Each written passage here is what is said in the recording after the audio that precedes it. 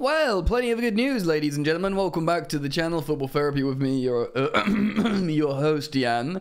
I hope you're doing well, friend. I really do hope that Chelsea can score goals and Levi Colwill is staying. Way so tough with that bad boy tuck. I'ma get it how I'm living. I'ma walk the walk. Outline my lines. I rap through. Ah, yes. Welcome back to the channel. Chelsea have scored nine goals in two pre-season games. Of course, they beat Brighton 4-1 last night. I guess it was last night, depending. I mean, yeah, it was last night. I'm just all screwed up through the time zones. I did watch the entire game back uh, on the Chelsea website. Thank you, Chelsea. And uh, yes, it wasn't perfect. Brighton are a good team. They are very well coached. They are well settled.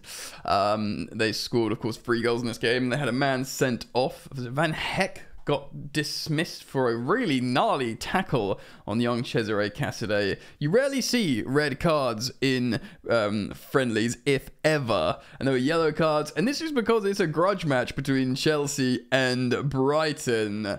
And um, yes, our paths have been interlocked so much these last 12 months. But we'll talk about why Chelsea are good now and why we should be happy about the Colwill news coming from the Chelsea manager. If um if you're feeling good about Chelsea scoring goals now, please do drop a like on the video, or just if you want to support the content, do drop a like on the video. And you are, of course, welcome to subscribe. Uh, and you should hit the bell, you know? You really should. Okay, so before we talk about football and goals, which is all just simply lovely, after the game, Maurizio Pochettino has said Colwill is not for sale. I know the lad gave away a penalty in that game, and he looks like he takes a risk in the box sometimes. But ultimately, what an incredible a defender he is! He's, he's really assured. His um, he occupies space really well. His spatial awareness. He's um, you know, he's very, very, very good. He's got that sweet left boot. He can do the outside of the boot long passes. Incredibly good. He would also, you can imagine, develop a lot being so, so young under the tutorage, uh, tutelage, tutelage. That's the word. It may, it may not be. I really hope so. Of Maurizio Pochettino and indeed the likes of Thiago Silva. Um, Maurizio Pochettino has said he is not for sale, and he believes he can become one of England's best centre backs. Tool praise. We've already produced one of those in John Terry. Can we produce another in Levi Colwill? We do have um, other centre backs, you know, the likes of Trevor Chalobah did, did pretty good. Um, and, uh, you know, Wesley Fofana is injured. We may still look to purchase someone, but if Pochettino thinks that between Levi, Thiago Silva, Badiashile, and Trevor Chalobah, who's done himself no wrong so far in preseason, four goes into two, four goes into two, and it looks like we are absolutely going to be locked down with this 4-2-3-1 formation uh, playing under Maurizio Pochettino because that's his that's his style and Chelsea look like they were much better offensively when playing this formation with these tactics. And of course, these games, these sample games will offer a lot of insight in what we need to do in the transfer window. Of course, yesterday we reacted to the news from David Ornstein that Chelsea are uh, pretty much having terms agreed with Kudus from um, Ajax. Very, very exciting winger, attacking midfielder. Um, and uh, yeah, if you want to read my reaction to that, excuse me, watch my reaction to that, me reading the article and talking about the analysis, the short analysis of the player, but we all know Kudus, he's very high profile. The 22 year old, and you can make a case for um, right wing being a little bit problem position. Uh, do go watch that video. And actually, I, you know, Mudryk scored a goal. We'll talk about that in a, in a moment. Looked good. Of course, Sterling does look like a senior player that will be leaned on, but he hasn't impressed massively so far in uh, preseason. Angelo has shown flashes, but ultimately wide forward. And of course, um, that right flank, a left footer, Kudus would be perfect for that.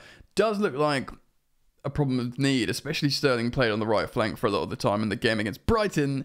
And um, he's not impressed me. Like, I know he's got it in him to be a good player, but he needs to do a lot of repeated actions. He said it himself in the pre-match press conference. And of course, when you get coached by Guardiola, that's like your bread and butter, isn't it? Um, so yeah, a wide forward is, is maybe necessary, and uh, I do urge you to go watch my previous upload to um, to think about that. But let's talk about the football. So Brighton are a very good, um, very good team. They played a good game despite going down to, uh, you know, ten men as well. And um, obviously they got penalty granted to them. But Chelsea were at one point four-one up in this game despite going one 0 down. So that's a big turnaround. It also shows a little bit of resilience from the Chelsea team. Of course, we played a 4 2 3 1. Um, for the first half of the game, we continued to see Christopher Nkunku play as a striker. And of course, um, Nico Jackson in the second half, or came on in the second half.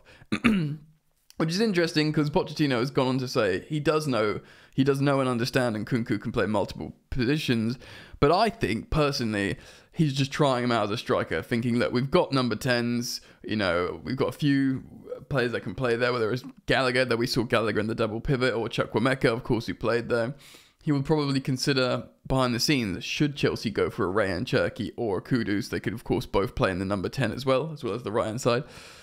And he's just trying plays in different positions. Of course, Ian Maatsen's apparently played winger in his youth, but he's obviously a left back in senior football, but he's exclusively played left wing for Chelsea. So we talk about, you know, a need for wingers. Maybe uh, Ian Maatsen, you know, offers a really good option on that on that left hand flank.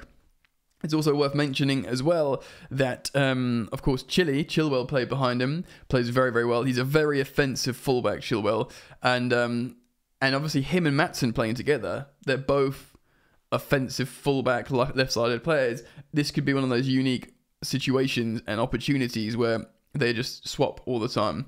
And then obviously, if you have two players down a flank that can legitimately swap, and of course they're both left backs, so they will both feel native in the left back position and Chelsea won't feel vulnerable in on transition because they'll be like, well, we've got a left back covering. But at the same time, you know, Chilwell loves getting in the box, scoring goals, uh, and Maatsen seemingly does as well. He might have had a more quiet game against Brighton, but he still popped a couple of shots off, I believe.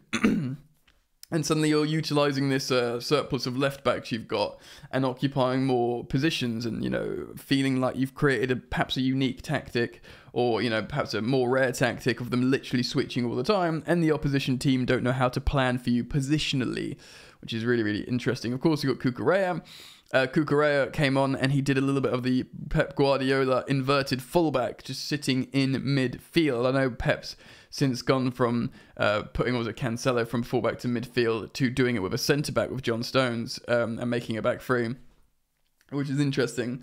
But um, yeah, so maybe it's nice to see Pochettino try these more like innovative things. You know, putting Cucurella in midfield um, and having that like just options. He's just seeing it basically. Can can you know Nkunku be the striker with Jackson? You know, can he be like a, a reliable goal scorer in the centre forward position because we know he scores goals?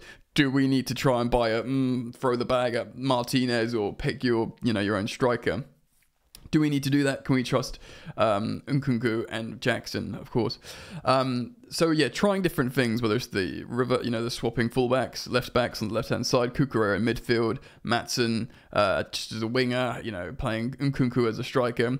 But one thing is for certain, Chelsea are much much fitter already. We're still only done two games in pre-season, and it's already so so obvious that this team is much much more. Um, you know, drilled and fit. And of course, they've got so much to go still against a Brighton team that are really fit and also are well coached and settled. Uh, these two games, I know it's Wrexham as well, but Chelsea have demonstrated the high octane nature of their play and they're starting to build chemistry on the pitch. Having a solid lockdown formation of 4 2 3 1 shows development. Of course, we saw Thiago in the centre back positions, we saw Levi, we saw Chalobah, we saw Thiago Silva.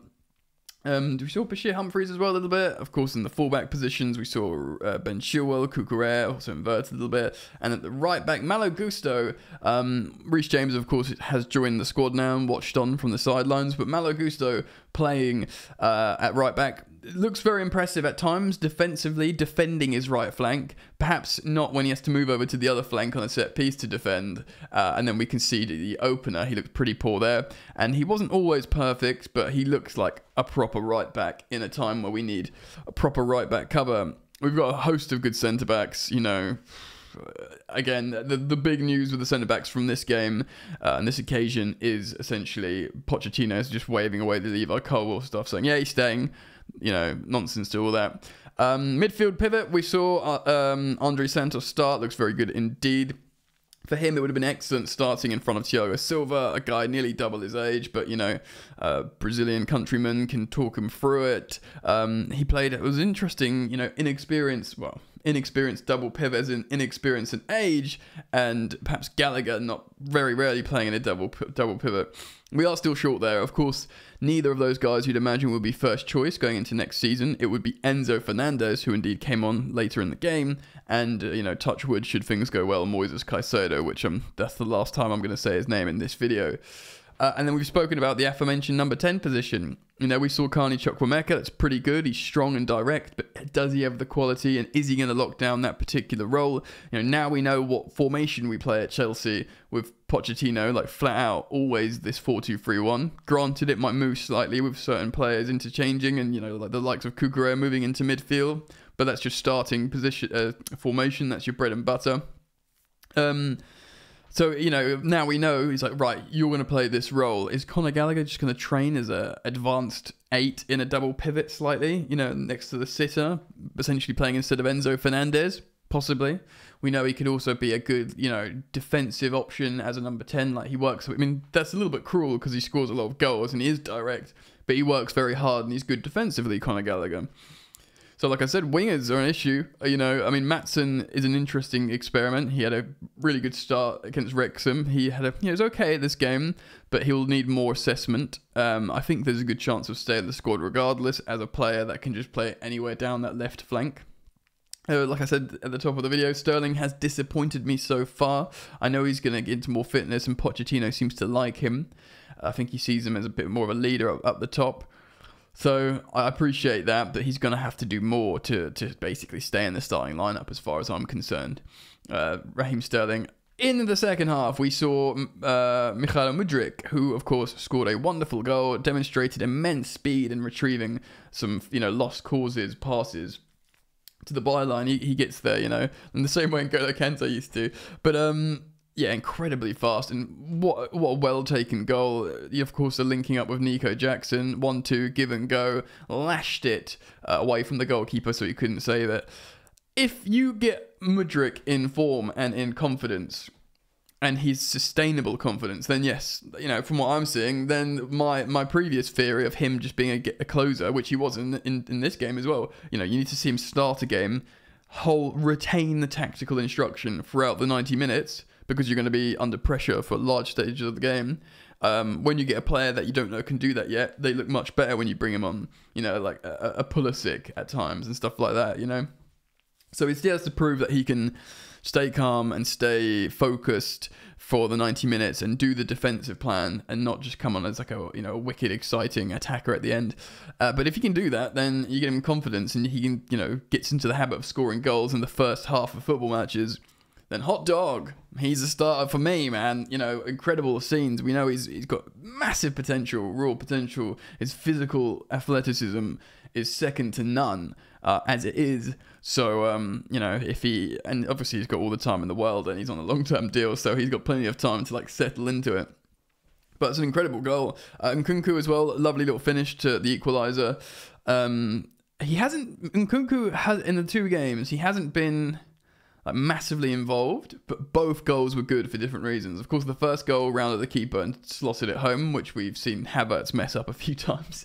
Um, and then, of course, the little side foot finish in the box when the ball's coming in, opportunism. It wasn't pretty, but you need to be able to do that. A lot of players don't know where their feet are, and that doesn't go in. He's taken. He's had two chances there, and he's just taken them like bang bang. And um, ultimately that's what you you're going to want from him I think. Although if he does play in a number 10 a second striker he's either going to have to be a bit he's going to have to like be integrated more creatively making passes or working harder defensively although he's demonstrated he can do that. I wonder if Pochettino just thinks look play in the striker and score goals and see if you can do that for the moment you know start there. But um you know, if you keeps scoring a goal a game, doesn't matter what any other analysis really, does it? yes, that's the beautiful thing about football. You can be like, oh, he's lacking and he hasn't done that. If you're playing in the centre forward position and you're scoring a goal every game, you're absolved of criticism, even if you don't join like the defence and you mess up tactically and you don't do what the gaffer says. If you keep doing that, especially in a 4-2-3-1 because there's so much going on behind you you know they can um, pick up the slack uh, and the wingers in Pochettino's system play so narrow that yeah it's um it's it's like you can get away with a little bit more but ultimately we got to talk about Nico Jackson you know just as Mudryk took his wonderful goal Nico Jackson he's played what I don't know across two games maybe 70 minutes and he's got three assists and a goal. So off the bat, he's come in and he's not just eyes lit up like, I want to score, I want to strike I want to score, I want to score. He's like, no, no, let's play. I'm going to link up with my teammates and serve some goals. The link up with Mudryk was sublime. Um, this guy, you know, he, he's just serving up assists all over the gaff. And then when he gets a chance, a conventional centre forward striker chance, the ball's played for him. He's on the shoulder. He runs, uh, times the run perfectly one on one with the keeper and just lashes it in really high but composed. And you're like, right, I've seen enough, baby. That right there is a good striker, a good centre forward. And not just because he's looks strong and, and athletic and he's took his, you know, goal, conventional centre forward style goal very well, which is a big tick. Okay, striker, done your striker thing. He's got three assists as well. So he, you know, he's probably I don't know his minutes exactly. I'm sort of pulling it out the air when I say 70 minutes. If he's got a goal in 70 minutes, amazing. If you add three assists to that, incredible. Yes, temper expectations. It's Wrexham as well as a very good Brighton, uh, and the Brighton team did go down to uh, 10 men. So yes, but but what you see, you have to analyze what you see and what they're doing on the pitch and how they're combining and how they look in terms of fitness and confidence. That's the most important thing of preseason: fitness, building confidence, building relationships. And so far, Pochettino's Chelsea are ticking all those boxes. So yes, incredibly exciting stuff. Good news about Colwill. Good news about attack scoring goals. I'll be very interested to learn what you guys think. So please do leave your comments down in the comment section below and I thank you for dropping a like on this video and for your subscription to Football Therapy. Um, of course I will upload again today, I upload multiple times a day and if you want to keep um, keep informed then keep it locked friends. Alright then, peace.